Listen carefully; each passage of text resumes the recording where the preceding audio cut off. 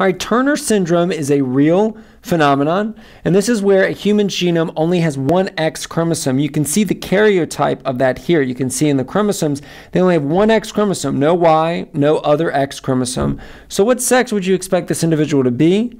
We would say female, and the reason is because to go down the male developmental pathway, all you need is a Y chromosome, and we don't see a Y chromosome here. So, even though we don't have two X chromosomes that would be typical for female development, one X and no Y would still be sufficient to drive female development.